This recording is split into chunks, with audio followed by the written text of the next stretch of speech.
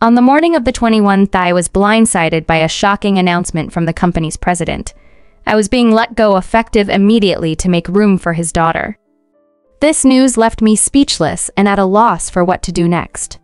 It was a critical day, as it was the time to make payments to our suppliers. While many transactions were handled via bank transfers, I personally visited some of our long-standing partners to make payments and maintain good relations. The president seemed eager for me to leave right away, even pushing me out of the office and swiftly shutting the door behind me.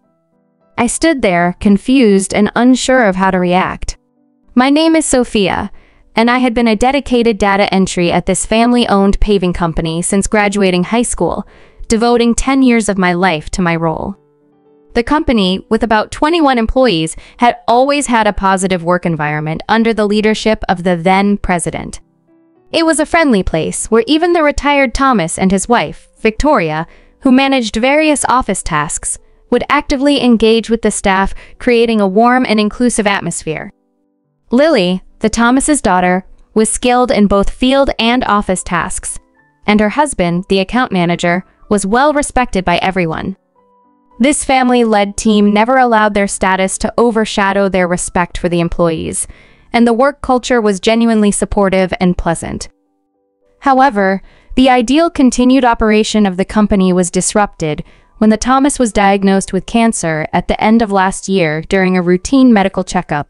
He decided to step down, appointing Lily's husband as his successor. Everyone, including myself, supported this decision, wishing for the Thomas's recovery and a long life. Yet, reality struck a harsh blow when Luke, the Thomas's eldest son, who I barely knew, suddenly appeared and altered everything. Luke received the news in the presence of his family that the Thomas, his father, had disowned him nearly three decades ago, an astonishing revelation that he was completely unaware of. According to some long-standing employees, Luke had been a troublesome youth, frequently clashing with the law. Each time he stirred up trouble, it was the Thomas and his wife, Victoria, who would step in to smooth things over. After he dropped out of high school, Luke delved into questionable businesses, including multi-level marketing and other dubious schemes, which eventually led to his disownment. Despite years of estrangement, Luke made a dramatic return, imploring his father for forgiveness and a chance to start anew, right in the midst of the small company office that doubled as both the president's office and clerical space. His plea was witnessed by everyone present as he expressed his desire to leave the past behind and contribute to the family business. Although Luke's intentions sounded sincere, his past actions made it hard for Lily and the seasoned employees to fully embrace his return. Nevertheless, when the Thomas advocated on his behalf, no one could deny the request. Subsequently, Luke and his family moved into the Thomas's guest house. Luke took up a role in the company, while his wife managed the household duties and their daughter. A college student occasionally visited the workplace. The Thomas was optimistic, suggesting that Luke's hardships had reformed him, and Victoria was visibly moved by her son's return. They were hopeful about rebuilding the business together. However, tension soon emerged as Luke claimed he should be the next president because he was the eldest son. His relationship with Lily and the account manager grew tense. Despite appearing diligent in the Thomas's presence, he was largely unproductive and even made inappropriate remarks, undermining his colleagues under the guise of authority. Luke's dismissive attitude instructing his coworkers to work in silence like worker ants rapidly alienated him within the company. The discontent grew as younger employees, unable to endure the toxic environment, directly appealed to the Thomas for intervention. Despite this, both the Thomas and his wife Victoria only offered mild reprimands to Luke, asking the staff to be patient and view the situation with a broader perspective. Complicating matters, the Thomas's health declined sharply due to stress or other factors, culminating in his hospitalization two months prior. Amidst this turmoil, Luke seized control declaring himself the president. This decision was against the advice of employees who favored the originally planned candidate, the account manager and son-in-law. Many murmured that the decision was a misguided show of parental affection, or worse, a sign of senility. This shift profoundly altered the once vibrant and cohesive atmosphere of the company, leaving it tense and uncomfortable. As tensions escalated, Lily and the account manager began orchestrating changes behind the scenes, leading to a shift in my workload. Previously, administrative tasks were evenly distributed among Victoria, Lily, and myself, allowing me to maintain a regular schedule. Now, burdened with these responsibilities alone, I found myself regularly working overtime, with days stretching into nights. Meanwhile, Luke seemed to trivialize my efforts, treating administrative duties as trivial while he indulged in leisure activities like visiting hostess bars by day and gambling or horse racing by night. Our relationship deteriorated further over financial discrepancies. Luke had been using the company's credit card for personal indulgences, which I had reluctantly overlooked until it reached an untenable level.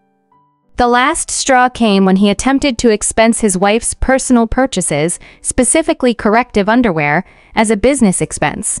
I confronted him, refusing the claim, which inevitably led to a heated confrontation. As expected, Luke reacted with fury when challenged, his face flushing with anger as he struggled to justify his actions. Don't cross me. She is the president's wife. It's only natural for her to look her best. It's a legitimate expense, Luke asserted confidently, trying to justify the exorbitant $5,000 spent on his wife's corrective underwear as a business expense. I was at a loss for words, struggling to understand how he could possibly see this as reasonable. His next suggestion was even more baffling. Let's just start selling corrective underwear as a new business line. Then it counts as a purchase, thus a business expense, he proposed with a self-satisfied grin. I stared back in disbelief. But we're a paving company, I reminded him, utterly confused by his logic. Luke brushed off my concern with a wave of his hand. So, we'll just tell our clients they must buy from us or lose their contracts. We'll make a killing selling these $3,000 a piece, or $5,000 for a set. It's an easy business, he chuckled, seemingly pleased with his ingenious plan. I was horrified. That's absolutely unethical. It would completely destroy our company's credibility, I protested vehemently. My objection only earned me a spot on Luke's blacklist from that moment on, subject to his constant disdain and criticism. Life at the company became unbearable.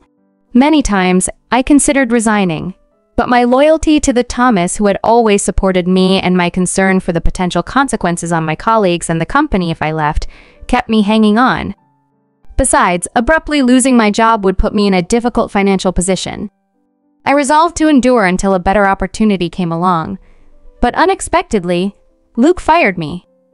If I resign without proper notice, it'll cause issues for our clients. I argued as I gathered the courage to open the door and confront him one last time. Even your daughter isn't ready to handle my tasks. And today of all days, when payments need processing, I added hurriedly, bracing myself for his reaction. True to form, Luke's face flushed with anger. Shut up. I told you to leave because my daughter is taking over. Today is your last day. As for the payments, let them wait, he snapped, dismissing me summarily, leaving me to face the harsh reality of my sudden unemployment. When they come to collect, there's no need to pay them proactively, Luke casually mentioned, dismissing standard business etiquette. I was shocked. Excuse me, isn't it basic practice to pay for something once you've agreed to buy it? I found myself explaining this fundamental principle as if I were speaking to a child, only to be met with a response so bewildering that I questioned his capacity as a rational adult. If that's how it is, just threaten to switch to another supplier. Tell them we won't make the payment this time, so they should give it to us for free. What? We can't possibly do that. I exclaimed, utterly dumbfounded by his suggestion. You're utterly useless, he retorted dismissively. My daughter has a college degree. She can handle the office work. Since she's family, she won't question my spending like you do. We don't need someone who's all talk and no action in our company. Get out now. In essence, Luke was planning to manipulate the accounting by having his daughter oversee it, thus writing off his personal expenditures as business expenses under the guise of administrative decisions. Oh, is that so? Just remember, I won't regret leaving, I responded, realizing that reasoning with him was futile. My patience had completely evaporated. I quickly gathered my personal items and left the office for the last time, but I still felt a strong concern for our clients. I immediately called Lily. I knew Victoria was preoccupied with caring for the Thomas, and that Lily was busy, but this situation was urgent. After explaining everything to Lily, I left it in her capable hands. Once outside the company, the reality of being suddenly jobless hit me. Being fired without notice was a clear violation of the labor standards law. Our company was registered under the Middle Company Payment System, a government-initiated severance pay system designed to support small and medium-sized enterprises that might otherwise struggle to provide severance pay. I knew I could claim my severance pay and one month's salary through this system, and there was no rush. I had three years from the date of termination to apply. Additionally, the statute of limitations for reporting to the Labor Standards Office was three years. Due to my meticulous nature and experience in office management, I quickly began calculating what was necessary for moving forward. After resigning and concluding the necessary procedures for my retirement, I realized I could afford to relax for a bit. Recently, the demands of constant overtime and weekend work had left me little time to enjoy personal activities or even tend to things at home. I had a long list of places I wanted to visit once I had more free time.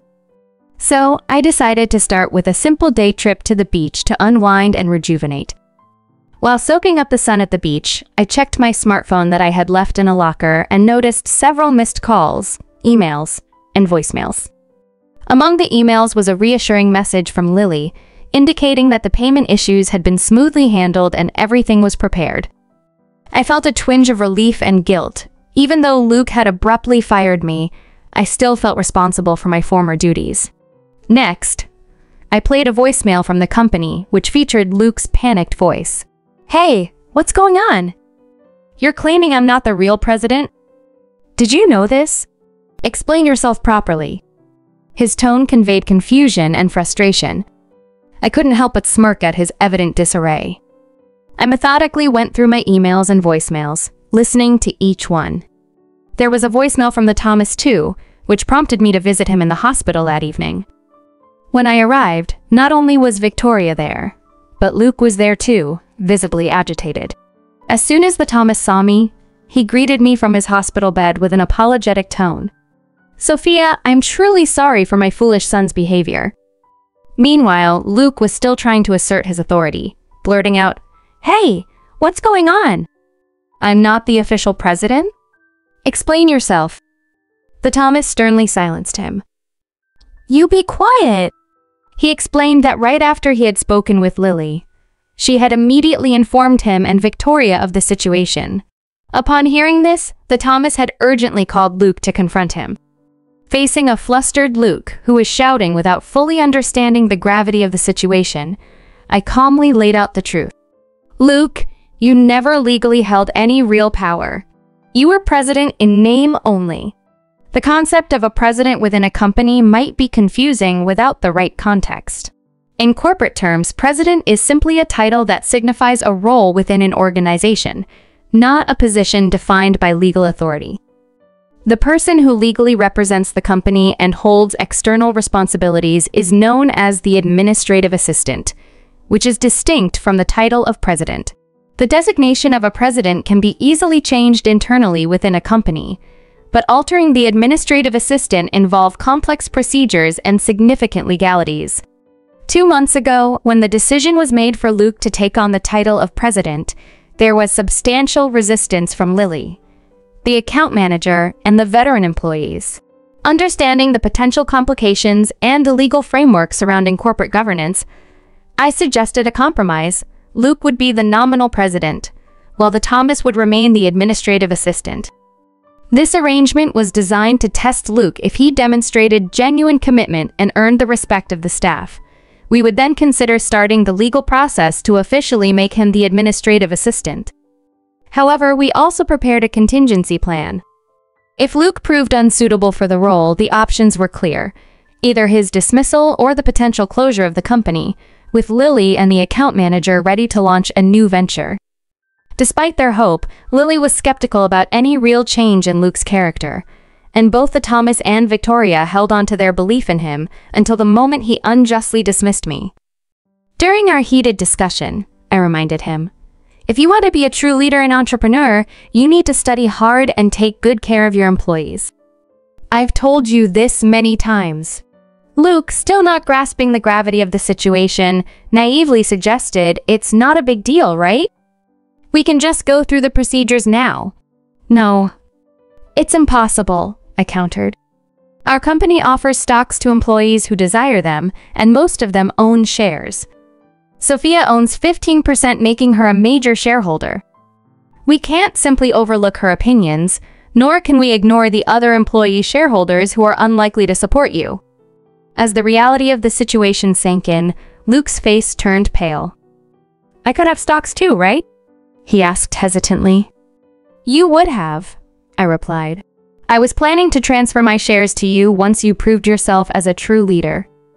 I'm deeply disappointed in you. It seems you were only after the wealth, not the responsibility that comes with it. In a room heavy with tension, the Thomas, weakened and weary, slumped in despair. Beside him, Victoria's face was etched with sadness. Defiantly, Luke, the president, retorted, Of course, I'm the eldest son. What's wrong with taking what I can from the company? It's mine, after all. I could no longer hold back my disappointment and frustration at his brazen attitude. No, Luke, that's not how it works, I countered firmly. The Thomas, your father, is the administrative assistant and holds the ultimate responsibility for the company. And don't forget, I'm a shareholder. I can call for a shareholders meeting and push for your dismissal. The word dismissal struck Luke like a bolt, draining the color from his face. You mean I might get fired? He stammered in disbelief. Yes, Luke, even though you dismissed me as just an office worker, I have rights here. I stated plainly. At this point, Victoria finally spoke, her voice filled with regret. Sophia, I owe you an apology. I'm truly sorry for the trouble caused by my misplaced love for my son. Please tell us what you would like to do. I looked Luke straight in the eyes. I can no longer work under you. I'm resigning effective immediately. However, I expect my severance pay and one month's salary, including compensation for all the unpaid overtime and holiday work. Furthermore, I'll be reporting our company to the Labor Standards Office. As a shareholder, I intend to fight to remove anyone who jeopardizes the integrity of this company.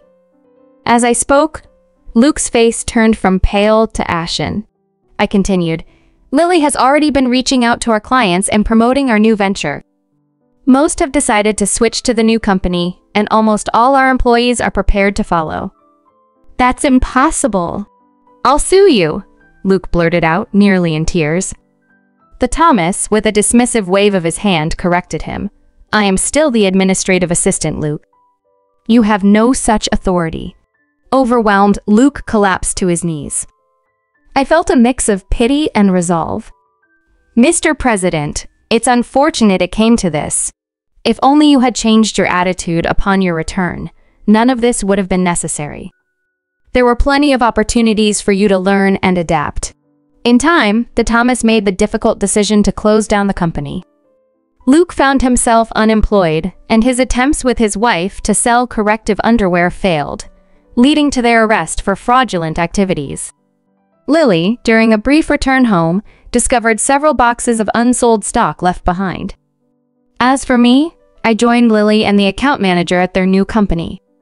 Every day at work is fulfilling, and I cherish the positive relationships I've built. Living and working with sincerity and integrity is my ongoing commitment, a stark contrast to the tumultuous environment we left behind.